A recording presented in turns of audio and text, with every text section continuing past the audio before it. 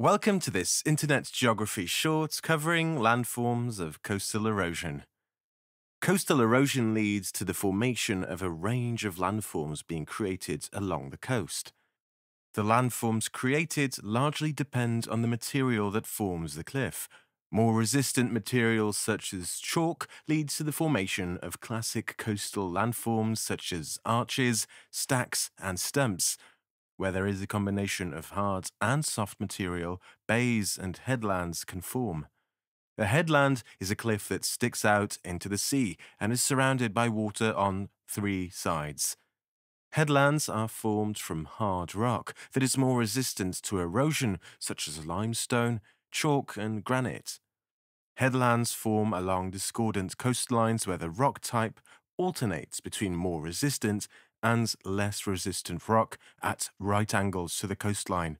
Due to the different geology, erosion occurs at different rates. This is known as differential erosion. Less resistant rock, such as boulder clay, erodes more rapidly than more resistant rock, such as chalk. The bands of soft rock, such as sand and clay, erode more quickly than those of resistant rock, such as chalk. This leaves a section of land jutting out into the sea called a headland.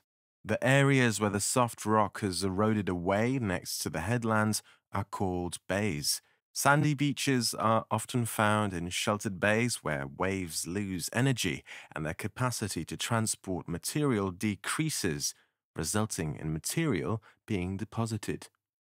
Cliffs and wave cut platforms are landforms of erosion commonly found along the coast. Processes of coastal erosion and weathering are responsible for shaping cliffs. Less resistant, soft rock erodes quickly, forming gentle and sloping cliffs. More resistant, hard rock forms steep cliffs. Where cliffs are made from more resistant rock, wave-cut platforms are often formed. A wave-cut platform is a wide, gently sloping surface found at the cliff's base and extends into the sea. A wave-cut platform is formed when the sea attacks a weakness in the base of the cliff. For example, this could be a joint in chalk. A wave-cut notch is created by erosional processes such as hydraulic action and abrasion. As the notch becomes larger, the cliff becomes unstable and collapses because of gravity. The cliff then retreats inland. The material from the collapsed cliff face is eroded and transported away. This leaves a wave-cut platform. The process repeats over time. A headland is an area of hard rock that sticks out into the sea. When the headlands erode, they create distinct features such as caves, arches, stacks, and stumps.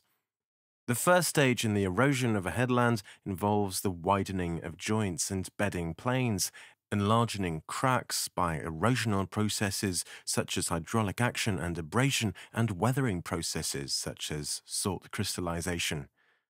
Erosion continues, leading to the formation of a cave.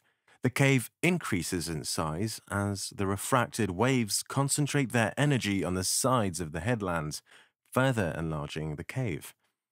Eventually, the cave erodes through the headlands to form an arch, Wave-cut notches widen the arch. Weathering and erosion weaken the roof of the arch until it collapses under its own weight, leaving a column of rock called a stack. In time, the base of the stack is eroded, causing it to collapse, leaving a stump. You can find out more about coastal landforms of erosion on internetgeography.net. Please check out the comments to links to more information and quizzes on Internet Geography. Remember to hit the like button and subscribe to our YouTube channel to receive updates.